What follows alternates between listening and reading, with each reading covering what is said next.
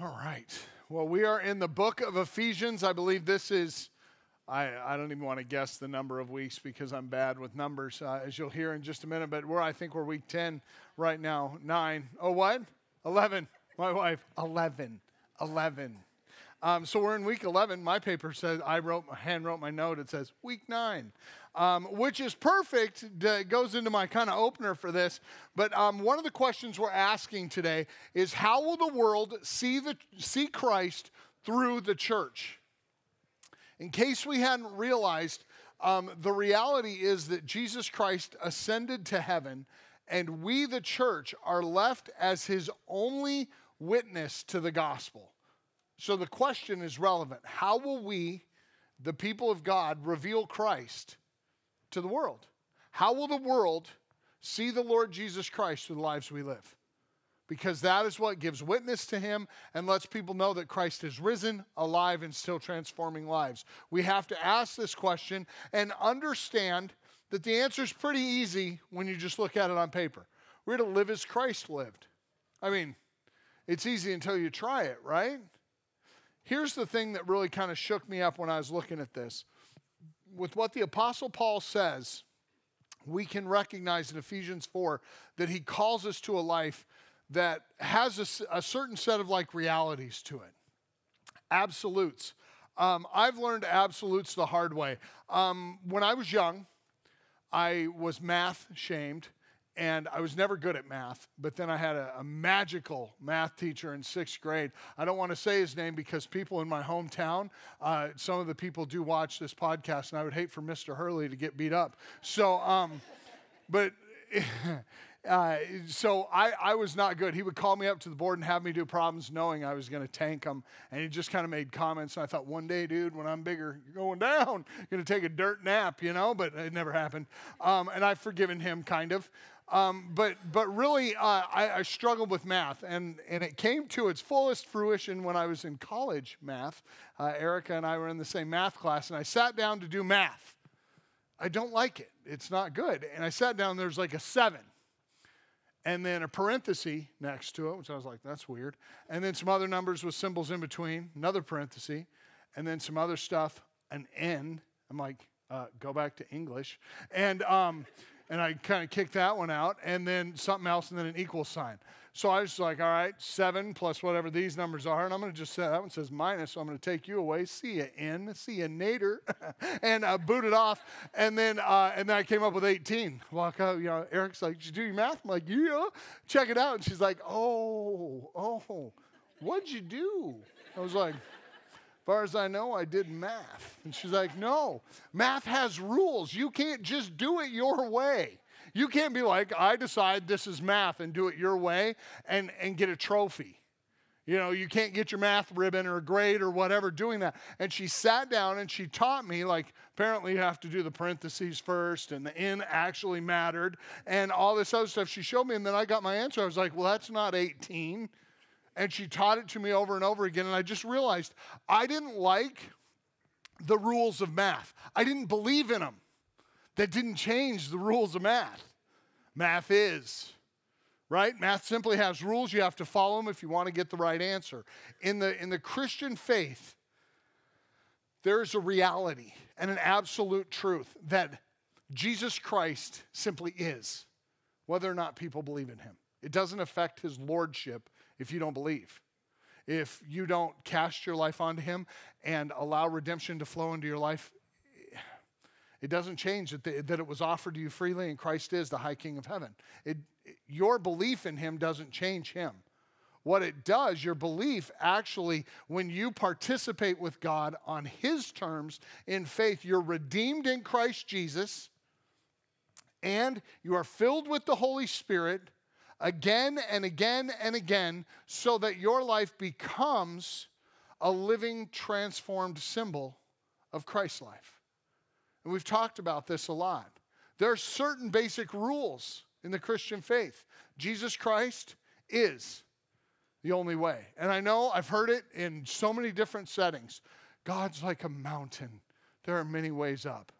You can take that idea and flush it, it's a lie. Jesus Christ said, I am the way, the truth, and the life. No man comes to the Father except by me. If Jesus said that, I'm going to hold on. God's not a mountain. He's not a mountain. And in the Lord Jesus Christ, we're invited to know God and be made into his image through the blood of Christ. So, what we recognize is there's some absolutes, but we also get the nuance of our lives. See, if we try to become like Jesus, we become these moralistic, religious, kind of abusive people who look at other people and think, well, at least I've got my life together more than they do. And that's not Christianity either. Paul's going to talk to us today from Ephesians chapter 4, verse 17 to 32. And in this text, he lays out what I believe is the best picture of what it means or how the church can really reveal Christ to the world around them. Follow along as we read this.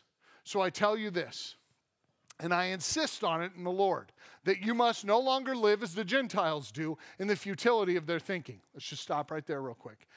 Ephesians were not in the bloodline of Christ so or in the bloodline of Abraham. They were outside of the Jewish covenant. They were Gentiles, but you know, notice how Paul uses wildly inclusive language. He's saying, don't be like the Gentiles. He's now saying, you're grafted in. You're part of this family now by the blood of Christ. We go on. They are darkened in their understanding and separated from the life of God because of the ignorance that is in them due to the hardening of their hearts having lost all sensitivity, they have given themselves over to sensuality so as to indulge in every kind of impurity, and they are full of greed. That, however, is not the way of life that you learned when you heard about Christ and were taught in him in accordance with the truth that is Jesus. You were taught with regard to your former way of life to put off your old self, which is being corrupted by its deceitful desires, meaning it promises one thing and delivers another.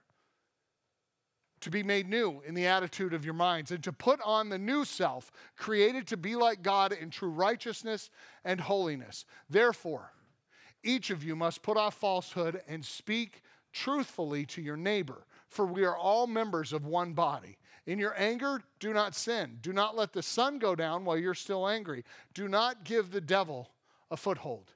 Anyone who has been stealing must steal no longer, but must work doing something useful with their own hands that they may have the opportunity to share with those in need. Do not let any unwholesome talk come out of your mouths, but only, as, only what is helpful in building up others according to their needs, that it may benefit those who listen. And do not grieve the Holy Spirit of God with whom you are sealed for the day of redemption. Get rid of all bitterness, rage, anger, brawling, and slander, along with every form of malice. Be kind and compassionate to one another, forgiving each other just as Christ Jesus and God forgave you. That little section right there is like trying to take a quarter beef and eat it whole. That is hard to get down. But if we take a minute and we kind of butcher this thing up right, it becomes a beautiful thing that you really enjoy a porterhouse, right? And if you're a vegan, try one. Trust me, you'll be like, he's the greatest. He was right. But um, this is this is tough. This is tough to understand because it's a big chunk, but we're going to cut it down to size and make it digestible for us. What we have to do is take a moment and understand that the answer to the question for us of how we reveal Christ is actually answering a different question, kind of the inverse. Instead of asking, how do we glorify Christ, let's take a look at maybe what we're doing that doesn't and recognize what keeps us from living like Christ is pretty basic. It's a hardened heart. It's a hardened heart. Think of like a piece of scrap iron, hard. It's just a hardened heart. And you think, well, great. What do we do with that? How do we, how do we understand that? Well, thankfully, we're named after a foundry, so we're going to talk about it. We're the Foundry Church. People say, Why are you the Foundry Church? Because I believe in the process of foundries. Has anybody here ever been to a foundry? Yeah, filthy hot places, aren't they? Man, it's crazy. Steel melts at 2,500 degrees. Wrought iron melts at 2700. Tungsten steel melts at 6150, I think. And the sun called. It wants its rays back. Like, that's hot, right? That's insanely hot. A foundry is a place where you take scrap useless things, you put it into a pot and you turn the heat to it. And the heat gets that metal molten and glowing and bubbly and liquid. A hard, brittle, like just hardened thing becomes soft and malleable. It becomes liquid. It can be formed into anything. And the foundry takes that liquid metal, pours it into a mold, and repurposes what was once hard and brittle and held in its shape is now repurposed into a different shape. How good of an image is that for the church? That is a really good image because the foundry, the foundry is this hot, loud, dynamic place with people moving everywhere, molten metal pouring, glowing steel, all this different stuff. It's crazy what's going on in there. The hissing of, of the slag hitting the, the cooling pots. It's just loud and dirty. Has anybody ever driven through Gary, Indiana? Uh, you go on the toll road there to Chicago and you see the big U.S. steel foundries out there just billowing their healthy air out. And it's like, oh man, look at that. What's going on is a foundry. Something inside is being completely transformed. When our hearts are hard, we need to understand we are like that scrap iron.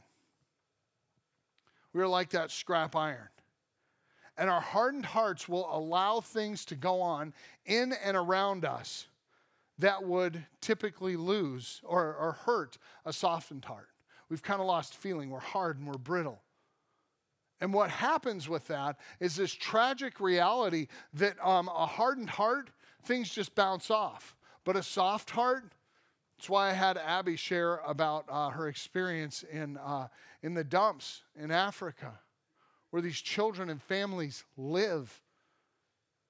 That's their life, and it implodes in. And oftentimes, we will sit back and care nothing about this. I will guarantee you this very few of you will go home and put on Facebook, Instagram, Twitter, or Snap that 17 people died a few weeks ago in Africa at a garbage dump. But many of you will go online and post, Hail, we wanted a buzzer beater. We miss the gospel for the most pointless things. Now, I'm not saying the games aren't fun and that. I'm, please don't get me wrong. I'm a sportsaholic. I love it. But the reality is, this is the gospel. And our hearts should be soft to what's going on to people who bear the image of God in this world and people who are hurting. We have to look up and realize that a hardened heart is more of a weapon than it is a tool of God's kingdom. And we can't live in that. We can't live as people who refuse to let the work of the foundry take place. So, what we need to do is just sit back and have a moment of diagnosis. We need to diagnose what are the signs of a heart that has grown hard. And then you can measure for yourself what's going on. You can look and see if a hardened heart is part of what is living inside of you. The first thing we know is this out of Ephesians chapter 4 if we have a hardened heart, the reality is we won't open up to people.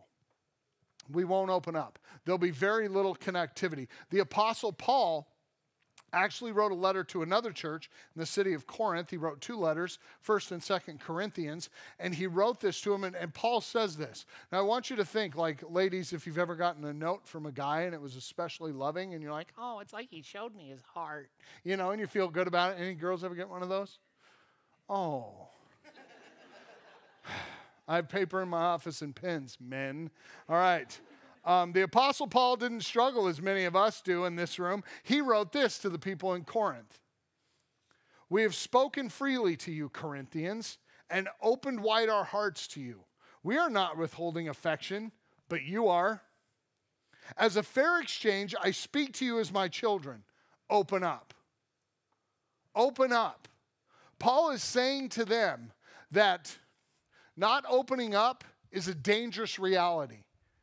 It means that people who are trying to connect are hitting what? A hard piece of metal and they're bouncing off it. They're not connecting. Have you ever been in a, a store or a restaurant and you see like an older couple sitting there and uh, the husband looks particularly miffed at something? He's just He's got a no face, you know, just, hey, no, you know, he just kind of looks angry. I love those kind of people, and I follow them in stores because it's awesome. And uh, you, you see him, and the, the wife is walking. She's like, you know, what's wrong? I don't know, Hank. We'll call him Hank. What's wrong, Hank? And he's, nothing. Something happened at work? No. Did the kids call you and tell you what kind of father you've been? No. What? You know, seemed odd. You know, do, do you want this? Do you, do you want this kind of meal? It's fine. And she kind of goes, Will you stop and tell me what's wrong? Will you let me in? Will you let me connect with you? And please stop mumbling under your breath and grunting when I speak to you? Sure. And she's like, Well, fine.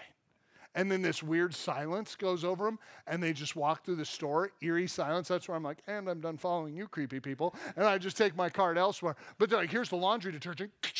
And they throw it in there, and they're making a bit of a ruckus because they won't let each other in to see what's actually hurting them.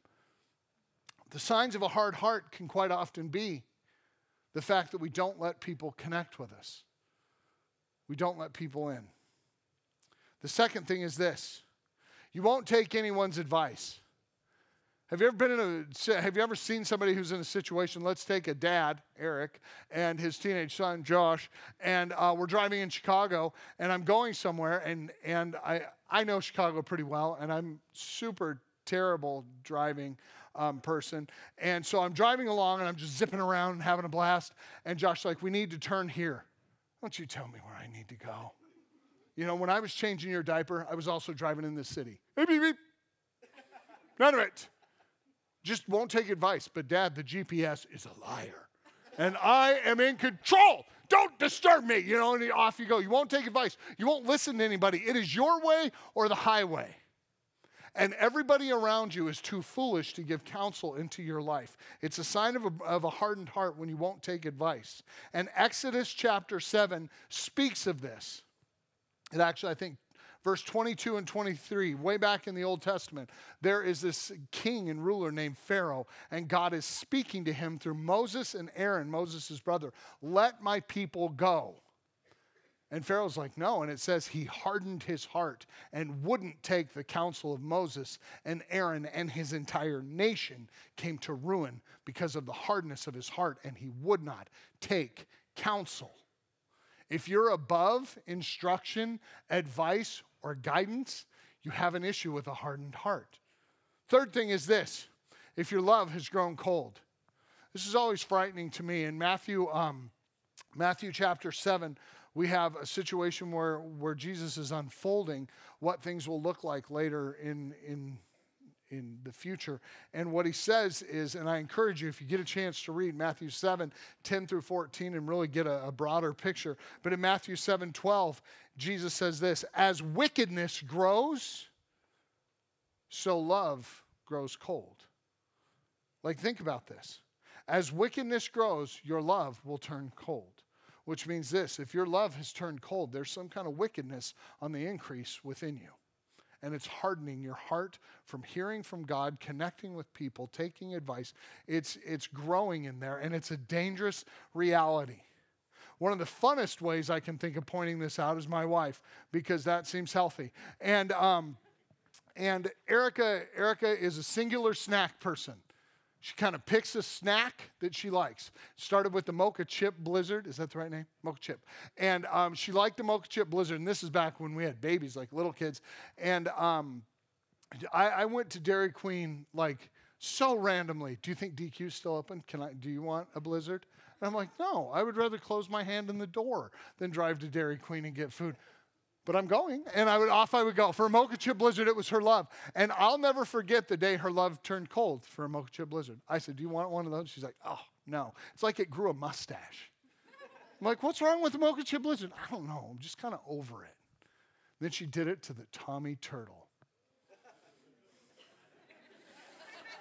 Now we can blame it on the pecans because she's allergic and there was a swelling issue with her throat. But um, but she had she had changed out you know pecans for the the Captain Crunchies, and that was the thing. And that was the thing for quite a while. Right now it's coffee, coffee, buzz, buzz, buzz, which I think Ben and Jerry's has quit making. And so I am currently searching the greater regions of Vermont to try to get it shipped to us because Erica is loyal to one kind of treat. Starts in the summer, follows her around through a year, and then she dumps it like a bad high school boyfriend. Get out, you know. I'm so glad I'm not a sundae.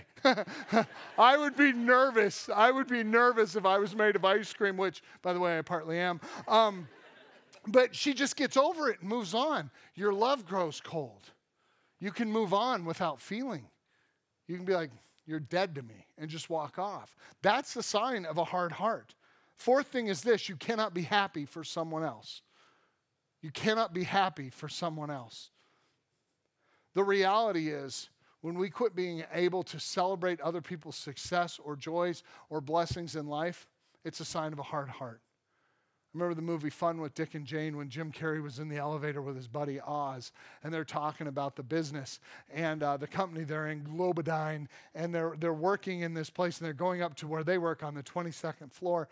The elevator opens and Oz walks out, and Jim Carrey, his character, stays in the elevator. And Oz doesn't know that Jim Carrey's been called to the top floor to be promoted to vice president. And he says, Hey, c- come on. And he goes, not this time, Oz. And when the doors close, he Oz is like, "Oh, come on!" And he like throws his briefcase at the elevator door, like that was my promotion. That's what I wanted. I, it it leaks of envy. Not only does he want what he got, he also doesn't want him to have it. When you can't be happy for someone else's blessings or good things in life, there's signs of a hardened heart inside of you, and it's frightening. Paul would lift people up. He took outsiders, they called them Gentiles, and he turned them into insiders. He grafted them into the body of Christ because what did Jesus do first? He took Paul, who persecuted the church and was there when they martyred people and killed people for their faith in Jesus, and he raised Paul up from the murderer, the person who persecuted and hurt the church, into its greatest evangelistic disciple and the man who wrote two thirds of the New Testament. What we recognize is that Paul followed in Jesus' footsteps, lifting those up around him, even at great personal expense to himself.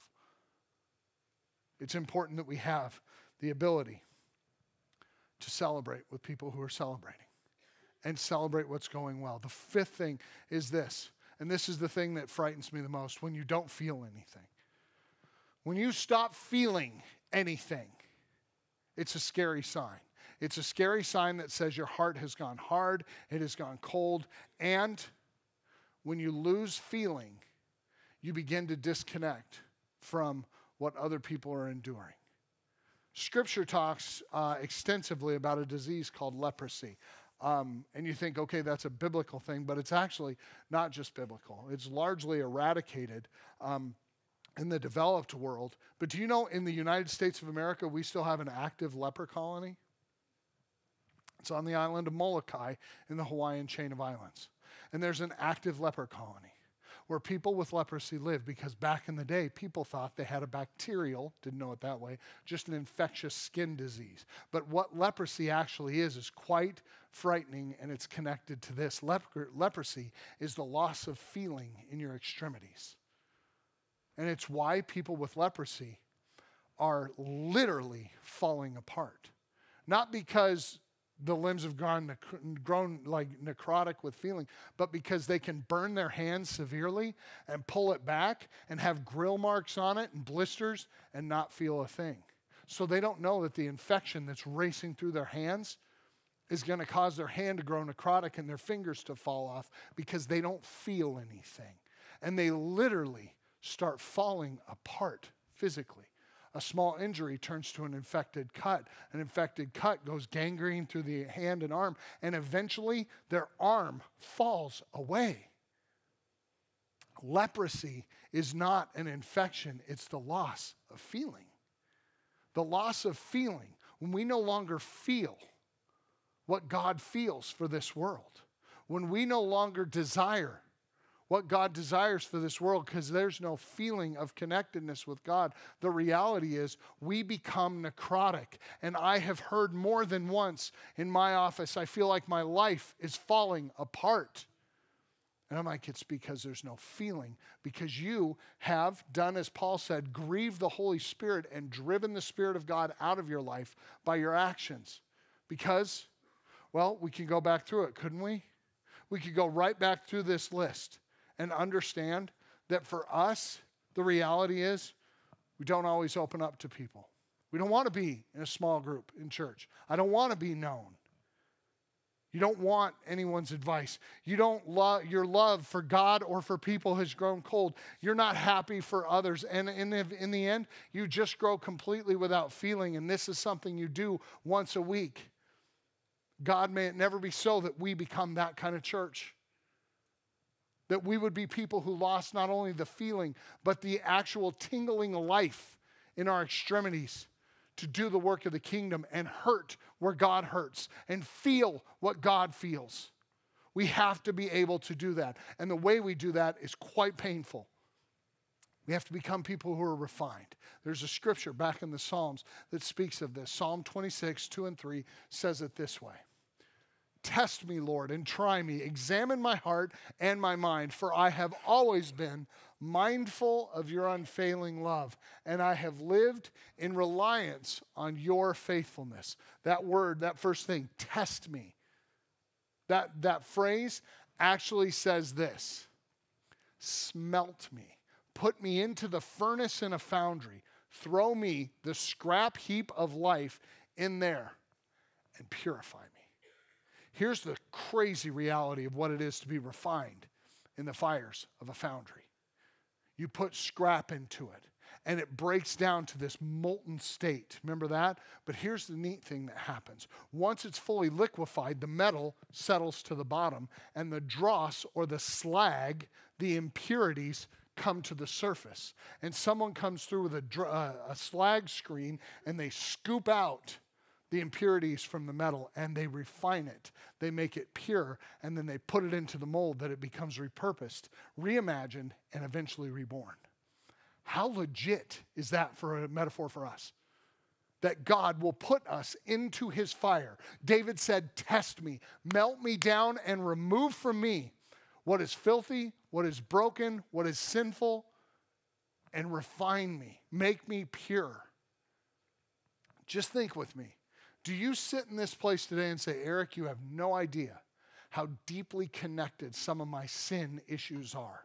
I've been addicted to, attached to, owned by. Just insert the sin you are owned by. That seems not only to be in you, but woven so intricately, intricately within your body that it feels like it's part of the interior marrow of the bone. And you're like, there's no way to separate from me from this sin. You're right. There's not any way for you to do it. But there is the fire of the Spirit. When we invite the Spirit of God to invade us continually, and we don't grieve the Holy Spirit, and we say, Melt me down, change me, transform me, break me down from the state I'm in, and sweep out of me every impurity. Pick up from me all that is not pleasing to you. We find ourselves being purified and refined from things that we could have never separated. You can say, I can't get this out of me. No, but He can. And He will break your life down he will purify it. And here's the coolest part then He remakes you into the image of Jesus Christ. And that is how the world sees Christ through the church. Not through a bunch of religious, pious people who walk into church and like, Good morning, brother. And they're like, Are they all related here? Why do they keep calling each other brother and sister? I know we're not Southern Baptists, but it still happens, right? Why, why are they so strange? They seem to act like they've got it together, but I saw half of them on St. Patty's Day at the Cara getting their green on. So, what's going on here? Which one are they? Are they moralistic or are they Christian? What's going on? I will tell you this we must be people in the flame. You cannot fix what's broken, but He will melt down and put you to the test. He will remove those things that were so deeply in you that the only way to get rid of them is to melt down the part of you that matters and let float the things he's ready to get rid of. It's a beautiful image for the church, but it's him working on our behalf. We have to be willing to go into the fires. If we let God examine our heart, and His Word is like a furnace that separates the good from the impurity, and the foundry purifies and repurposes, we know this that just like Paul said, he says in this scripture, don't lie. You know, if, if you're new in Christ, don't lie. Why? Why? Because we belong to each other. And to lie is to pollute the waters in which we swim. It pollutes our relationship and hardens our hearts. Don't go to bed angry with each other. That's an important reality that the church knows that even the smallest wedge that Satan can put in between us will divide the body of Christ. And if Jesus was right, a house divided cannot stand. So forgive and love one another and work things out with costly conversations and honesty. Don't steal. Sounds funny to say that. Most people, most of us are like, oh, that's fine. Maybe one person's like, oh my word, they know, you know, but seriously, don't steal. Why? Because when you're stealing, you will miss your purposeful opportunity to do what you were made for and work. And when you steal, it's all for you, but when you work, there's part of it you just want to give away. And you'll miss the opportunity to share with those in need. We must be people who understand that God will scrape the impurities out of our life if we will submit to the life in the furnace of the Holy Spirit, living within us, convicting of us, us of sin, and transforming us into the image of Jesus Christ. It's not your work, it's His. Will you submit to it? Let's apply this in three ways. First of all, I want you to ask. I want you to ask the question Is your heart hard? Is your heart hard? Just sit on it for a minute. Is your heart hardened?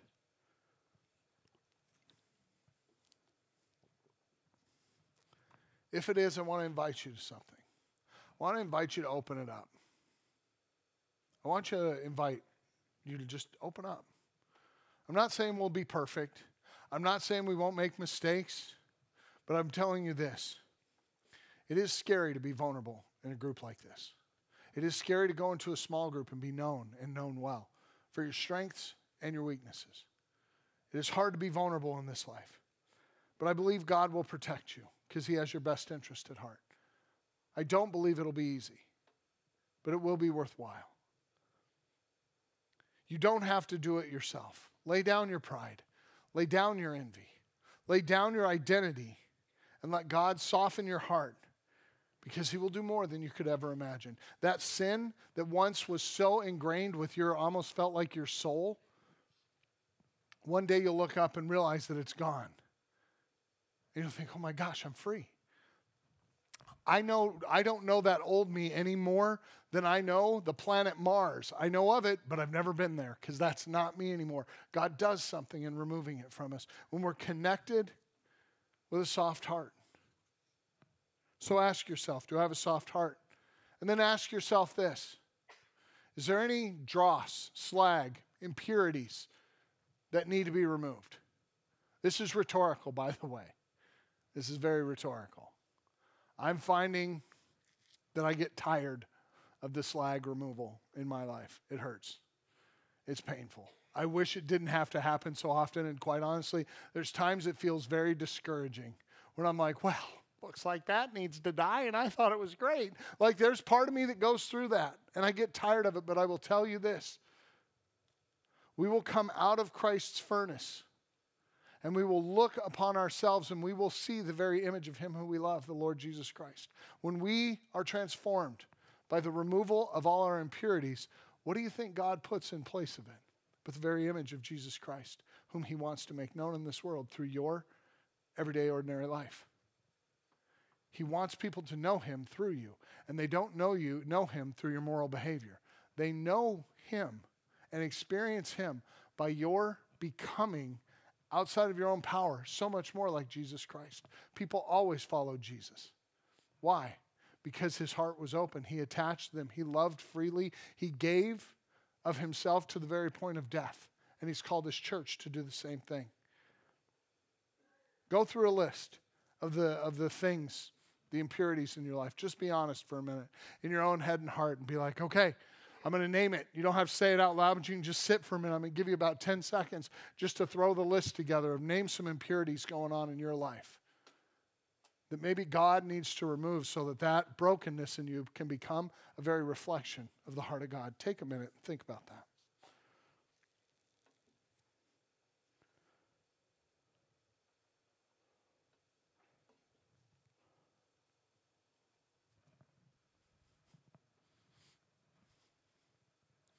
Don't be depressed by what you just put on a list in your mind. It's the very thing God intends to remove from you, not by your power, but by His. Will you go into the furnace? I invite you to go into the furnace. Finally, be patient with the other hearts around you. And I mean this to say we Christians can literally be the worst.